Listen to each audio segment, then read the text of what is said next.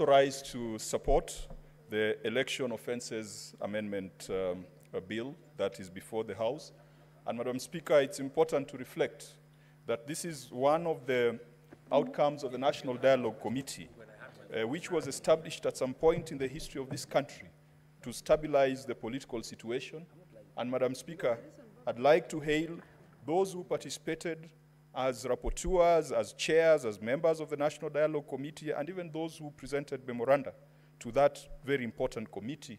We are now starting to see the outcome of the work they did in the form of various amendment laws, but we are also seeing that result in the pacification of politics. And Madam Speaker, I hope that we shall find an equilibrium where our politics is no longer highly charged, our politics is no longer tribal, our politics is no longer partisan.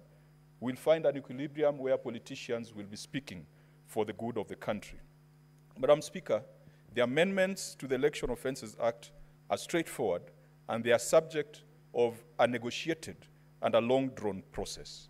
However, Madam Speaker, it is my view that the various pieces of legislation relating to elections in this country need a complete overhaul.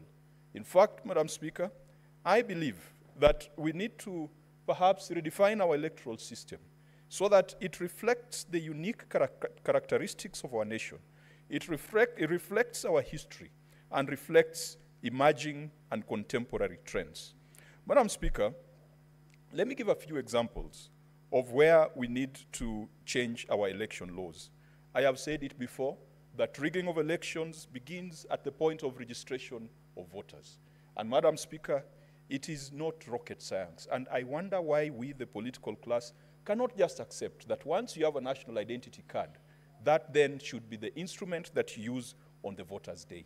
Because the qualification to get an identity card is eh, the same, same qualification to get a voter's card. And I have always wondered, and in my 10 years in this house, in my 10 years in elective politics, I have always wondered why that matter does not feature very strongly in our conversations around empowering the young people and around transforming our electoral system. Madam Speaker, right now you will find there are certain areas which until, uh, as, as, as at the last election, there has been no effort to recruit the newly acquired citizens to become voters. And then we are going to have a stampede, a few months to elections. We are going to have campaigns, very expensive campaigns, a few months to elections to onboard the young people as voters. Madam Speaker, how I wish as we try to come up with national consensus on various matters, we could come up with that consensus that the national identity card is sufficient for our young people and for our citizens to participate in the voting exercise. Secondly, Madam Speaker, it would be important for purposes of national security and sovereignty to ring fence our elections from foreign influence. When I looked at the process of tallying of election results at the Bomas of Kenya, I've always asked myself, what is the role and place of diplomats, ambassadors, and high commissioners at the tallying center? Madam Speaker, in the last election at Bomas, the American ambassador was very visible, was very, very visible. Her fingerprints were all over the place. The UK ambassador was all over the place. And when we asked why, we were told that the US and the UK governments were providing technical support to the, to the electoral system and to the electoral process. If there is one exercise that we must completely ring fence and keep away foreign influence, it is in our elections.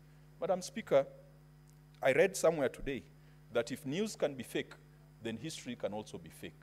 The history of Africa is replete with rigged elections engineered by the West.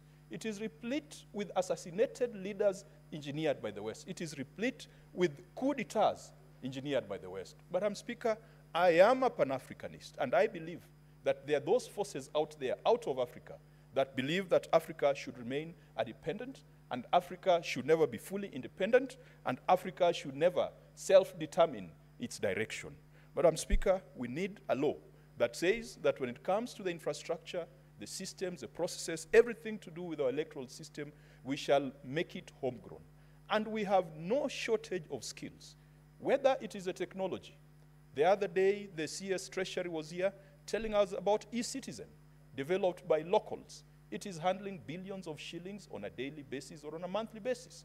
If we can trust our young people to build a system of that nature, why can't we trust them to build an electoral system so that we do not have to go to foreign countries to get that technology? Madam Speaker, even when it comes to capacity building, it should not go beyond our electoral officers making tours to those countries to see how they do it. But we should not have a, a situation where you've got an, an, a foreign funded organization being the one offering technical and capacity building for our electoral officials and our electoral systems. I believe, Madam Speaker, even if it's just coming from ordinary revenue, even if it's coming from a specified fund, our electoral system should not be subject of multilateral or bilateral agreements. It should be homegrown because if we do so, we rid our electoral system of foreign influence. And Madam Speaker, if you've read about the history of Africa and not the fake version of African history, the West always has an interest in electoral outcomes because whoever becomes the president of a country, Madam Speaker, sometimes influences the kind of relationships that country has with the West. We have seen interference in electoral systems in the Democratic Republic of Congo, Madam Speaker. Even in Kenya, Madam Speaker, I am convinced that there has been undue foreign influence in our electoral systems. And so that is part of what we need to look at in a complete and comprehensive overhaul of our election laws. Madam Speaker, the senators in this House have to spend a lot of money to get elected.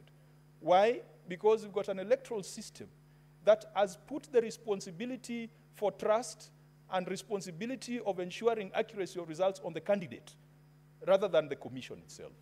Madam Speaker, you have heard previously when petitions have been taken to the Supreme Court on presidential election results, where the IEBC, that is mandated to ensure trust, accuracy, and integrity of results, referring to returns of agents of candidates. Madam Speaker, we should not be investing in agents in elections. If we have an independent electoral body that is of the highest integrity and credibility, and it is a very expensive undertaking. Madam Speaker, you can imagine, before election day, three days to elections, all of us here as senators, when you're organizing your own campaigns, you need to call your agents to a central place to train them. You call them to a central place to give them the oath of secrecy. You have to keep them in a central place so that they are not poached by your opponents. On election day, they have to be at the polling station. They have to be at the tallying center at night. They have to sit for three, four days waiting for the results to come out. Meanwhile, Madam Speaker, you are maintaining them, paying them allowances, giving them airtime, taking care of their food, taking care of their accommodation. Election day expenses of a senator in this House, Madam Speaker, is on average 10 million Kenya shillings. That is if you decide to deploy your agents in a proper manner.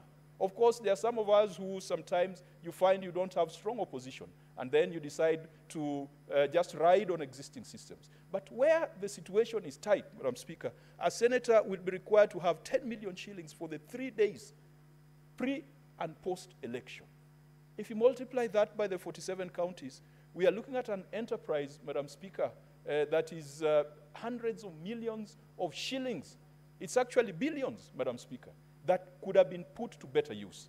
And I've just spoken about the position of the senator. I've not spoken about the woman representative. I've not spoken about the governor. I've not spoken about the president. Madam Speaker, in the American system, it is estimated that political campaigns, and that was uh, about eight years ago, was costing 16 billion US dollars. 16 billion US dollars on politics. And that was more than the budget of half the American states.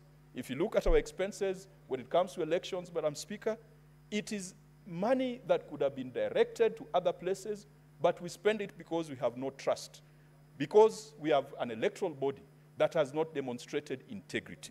Madam Speaker, we need to also look at the other laws that relate to spending on elections, but we can reduce that expenditure if we build institutions, technologies, systems, processes, and an infrastructure that inspires trust.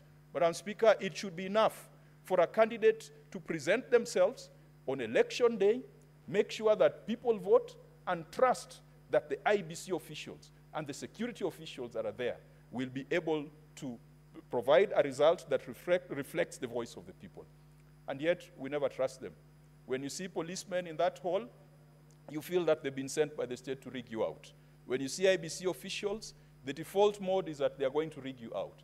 The fear is that they are going to be bribed by your opponent so that they can declare the wrong results.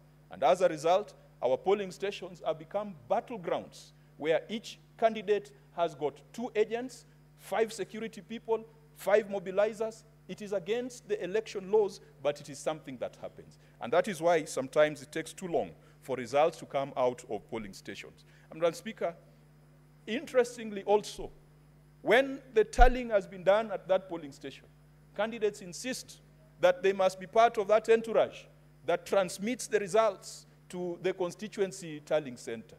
And then candidates insist they must be part of that entourage that transmits results to the county uh, uh, uh, uh tallying center. Madam Speaker, that is a system that is broken, and we have time for us to change it. Madam Speaker, many of the countries that we look up to, what we are calling modern democracies, be it the US, they are holding the elections in November, I think 4th of November. They do not have the same system of fast past the post that they are imposing on us. Look at France, Madam Speaker. France election is a two-round election for the legislature. You only win on first round if you get 50%.